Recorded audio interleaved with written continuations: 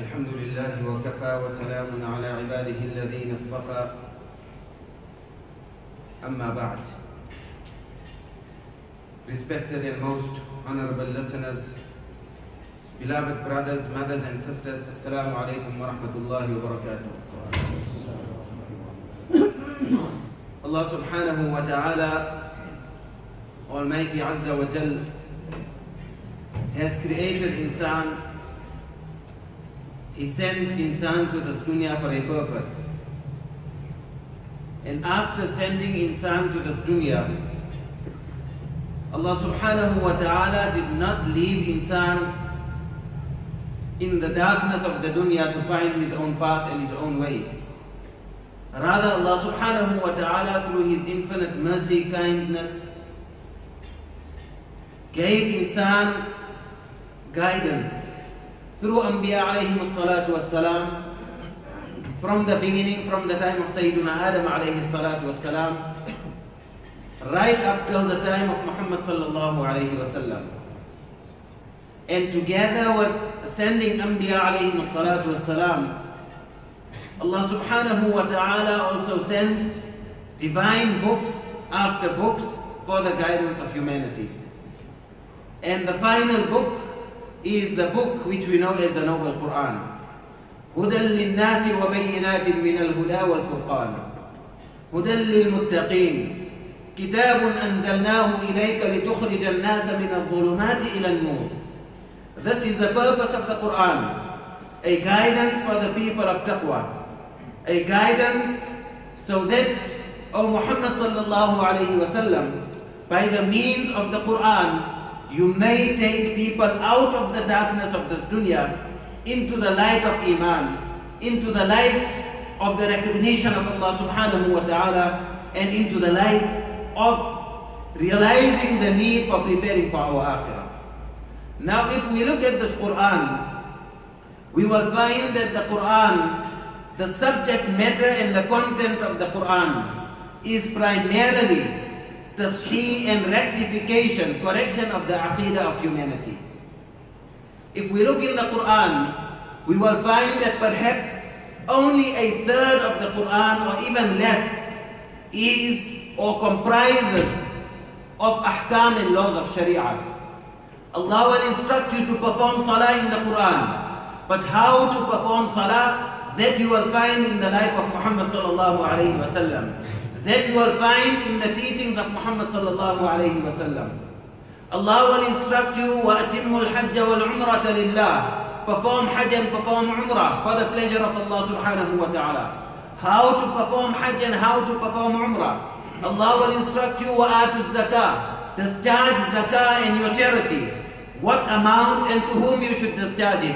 All of that is found in the ahadith and the teachings of Rasulullah sallallahu alayhi wa sallam. So that leaves us with approximately two-thirds of the Quran that is based on imaniyat, that is based on teaching humanity what is the correct aqidah, what should be the correct aqidah, what should be the correct belief system while we are existing in this dunya. That is the primary message of the Quran. That is the primary teaching of the Quran. And Allah subhanahu wa ta'ala together with indicating and educating humanity with regards to the correct aqidah. Allah also highlights some of the outstanding and salient characteristics of the Quran, uh, of the kuffar, excuse me, of the kuffar that became the cause of their destruction. So on the one hand, they did not possess the correct aqidah, the correct belief in Allah subhanahu wa ta'ala. And coupled with that was certain characteristics that were found in them. For example, Allah speaks about ah. Lut alayhi salatu wasalam. Besides the rejection of their faith, they were also involved in the major crime of sodomizing. The people of Shu'aib alayhi salatu wasalam, besides rejecting the aqidah, they were involved in cheating in business the people of Thamud, the people of Salih alayhi salatu wasalam, besides rejecting the message of the Anbiya alayhi salatu wasalam, they were also involved in the crime of living a life of extravagance, living a life of opulence, living a life not cared about the poor and the needy. And all of these factors contributed towards the destruction of these nations. And that is why in the Quran Allah subhanahu wa ta'ala, together with educating us with regards to the Aqidah, makes mention of these side issues as well. That may have been side issues, but in reality they were primary issues that contributed towards the consequences that these people had faced. So, what is the reason that Allah subhanahu wa ta'ala mentions all of this in the Quran? Is it just simply so that we can read about Ad and Thamud and how mighty and huge and powerful this nation was? And that is the end of the story? It is simply that we read about the people of Lut alayhi salatu wasalam, how they had sodomized and how Allah had destroyed them and that is the end of the story? No, at the end of these incidents, Allah subhanahu wa ta'ala tells us time and again in the Quran, أَفَلَا تَعْقِلُونَ You, O Muhammad sallallahu alayhi wa sallam's ummah, do you not have any intelligence? Do you also want to tread in the same path of those people? أَفَلَا تَتَذَكَّرُونَ Will you not heed? Will you not take a lesson? فَاعْتَبِرُوا يَا أُولِي الْأَبْصَارِ Take a lesson, O people of intelligence. Time and again Allah subhanahu wa ta'ala reminds us. Allah subhanahu wa ta'ala draws our attention and Allah subhanahu wa ta'ala tells us that, O humanity, O Muhammad sallallahu alayhi wa sallam's ummah, take a lesson. Otherwise it should not be that you, you face similar consequences like the people of the past. And then Allah subhanahu wa ta'ala addresses us directly. And Allah subhanahu wa ta'ala says, ألم يأن للذين آمنوا أن تخشع قلوبهم لذكر الله وما نزل من الحق ولا يكونوا كالذين أوتوا الكتاب من قبل فطال عليهم الأمد فقست قلوبهم وكثير منهم فاسقون Allah says that, oh people, oh people of Iman, Allah is not addressing the kuffar. Allah is addressing you and I, the people of Iman, those who recite the Quran, those who claim to believe in the Quran. You and I are being addressed by Allah subhanahu wa ta'ala. أَلَمْ يَأْنِ لِلَّذِينَ آمَنُوا Has the time not come for you, O people of Iman, أَن تَخْشَعَ قُلُوبُهُمْ لِذِكْرِ اللَّهِ That your hearts become humble before the reminders of Allah subhanahu wa ta'ala. From Surah Al-Fatiha to Surah Al-Nas, the Quran is replete. It is filled with reminders upon reminders. When is our heart going to become humble before Allah subhanahu wa ta'ala's reminders? And before that which Allah subhanahu wa ta'ala has revealed. And then Allah subhanahu wa ta'ala says, it should not be that you become like the people of the past, the people of the scriptures, the Jews, the Christians, every other nation that was given a scripture. فَطَالَ عَلَيْهِمُ الْأَمَدُ What was their condition? Allah reminds us. Allah says that their hope and their ambition to live in this world and to live was so long that they thought they are not going to die. Let us reflect upon ourselves. Yes, indeed, every single ummati of Muhammad sallallahu alayhi wasallam believes that he will die. Even the non-Muslim believes that he will die. But by way of practice, have I not shown and have I not exhibited a picture that I am not going to die? What the huge mentions that we take pride in, it is as though I am going to live in that huge mansion forever and ever. In the fleshy cars. And for one moment, let us not misunderstand.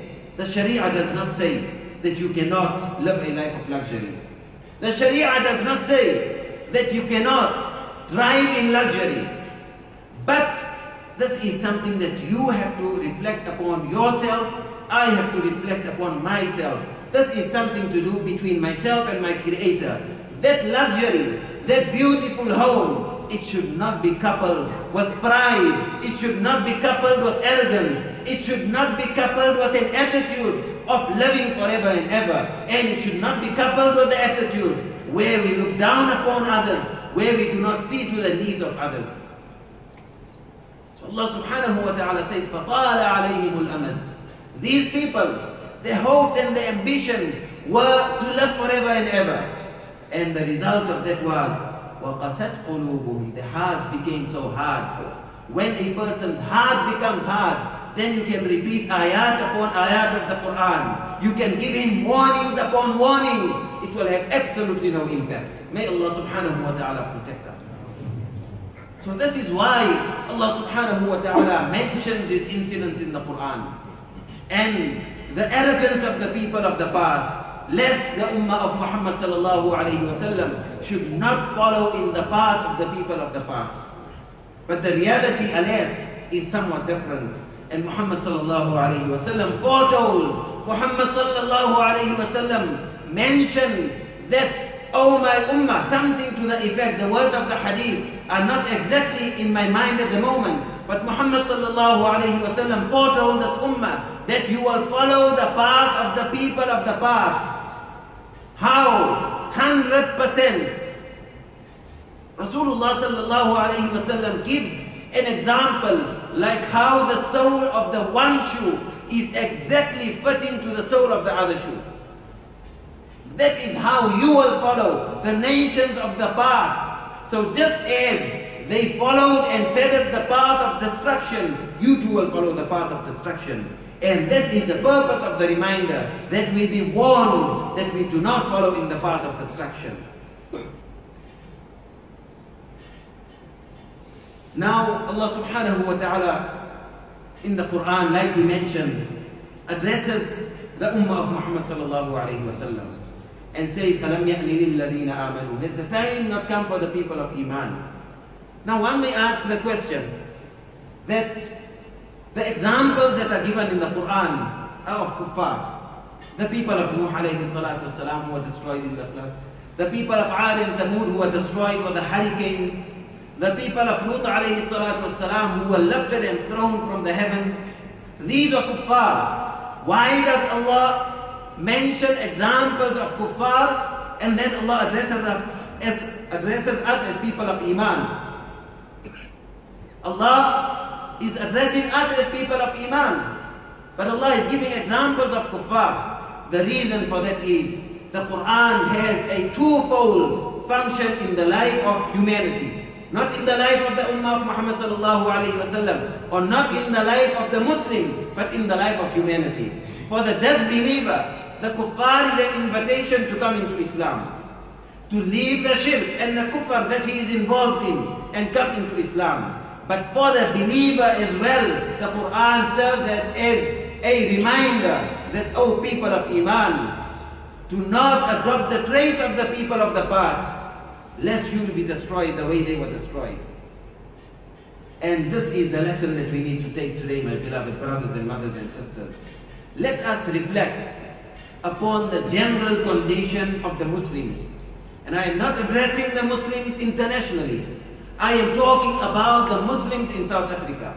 With all honesty to ourselves and to our Creator, let us ask, and I am not talking about any individual, but take a glance at the condition of the Muslims in general and ask ourselves, is our condition such that it can draw the wrath of Allah or the mercy of Allah subhanahu wa ta'ala? That is a question you should ask yourself and the answer will come from your heart. Is the condition of the Muslims one that will draw the wrath of Allah or the mercy of Allah subhanahu wa ta'ala? Let us look at a few examples. And again, we are not identifying any individual, any family, any organization. In general, we are looking at the condition of the Muslims. And we will look at certain examples. Look at the example of the Muslims' wedding today. Look at the example of the Muslims' wedding today. Why on the one hand, if a man is known in society to be a fornicator, to be a zani, a womanizer, a, a womanizer. Indeed, it is a bad thing and everyone will consider him to be a bad person. But let us ask ourselves, me as a father, as a brother, as a husband, I have allowed my wife to attend a wedding when she was dressed half or perhaps less than half. Is that not a form of zina? So while we frown upon one individual, this is something that has become a norm in society. Our daughters' dressings at weddings. Then we are not even talking about the extravagance in the weddings. Recently, in the week, I heard but it is hearsay, Allah make it such that it is not the truth. A particular girl that is getting married is traveling abroad, I cannot even remember the country, to purchase a wedding gown for 250,000 rands. Perhaps it's a small figure to some of us for a wedding gown. 250,000 rands for a wedding gown. That will be used for a few hours. While there are people in Syria who are your brothers and my brothers, who are barely finding crumbs to survive, who are barely getting water to drink in our own country. Where are we as a Muslim Ummah? Then look at the customs that are attached to our weddings. Subhanallah, may Allah protect us. Customs that we have brought from non-Muslims into our, our circles. So we have the build up towards the wedding and a week before that.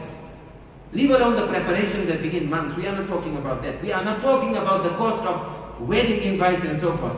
We are talking about now just the build up the week before. So we have a bride night.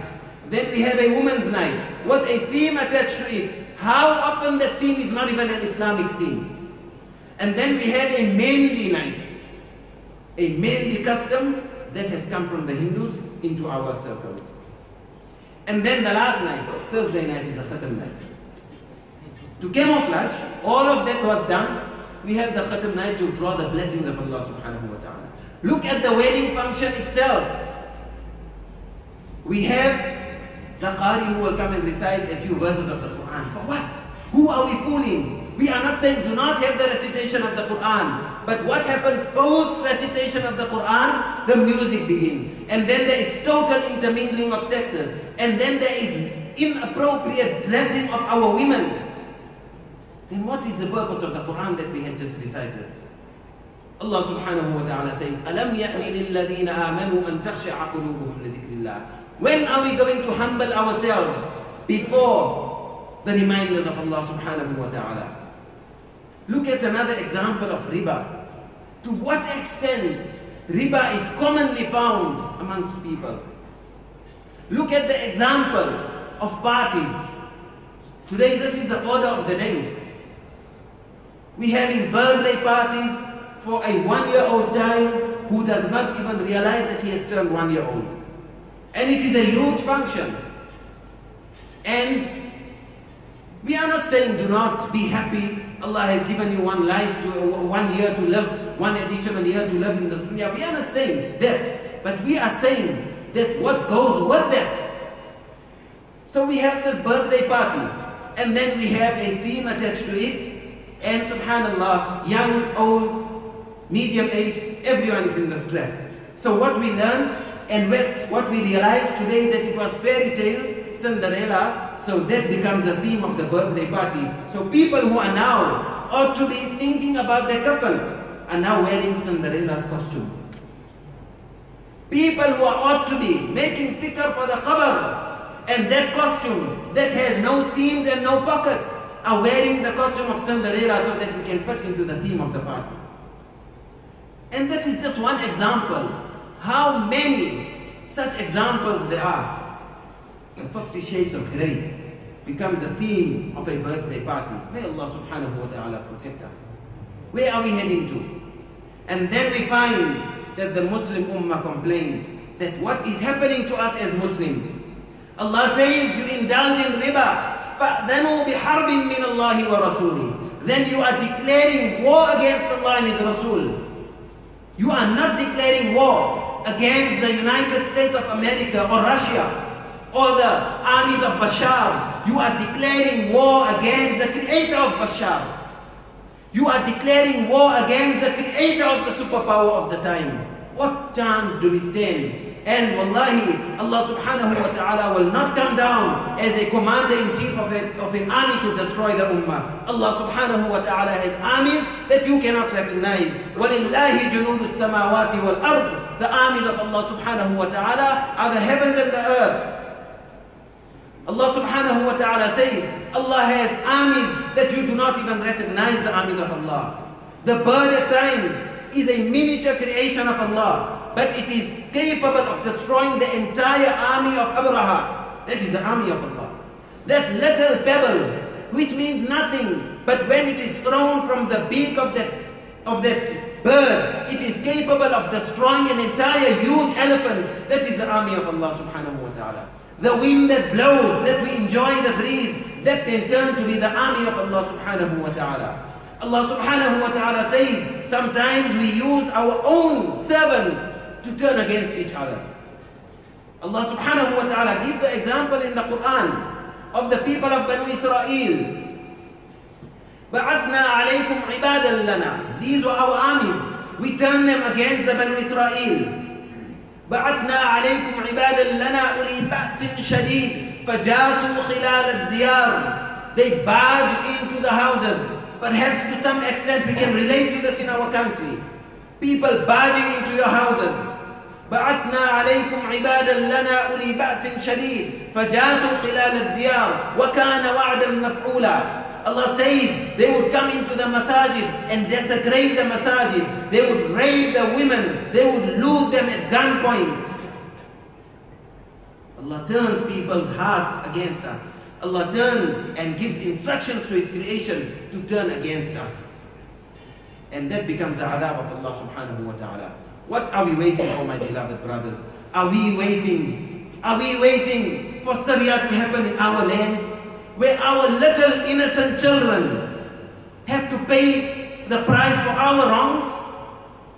And for not a moment we are saying what is happening in Syria or what is happening in Afghanistan or Palestine, that is the adhab of Allah. We are not judging, Allah is the judge. But are we waiting for that to happen?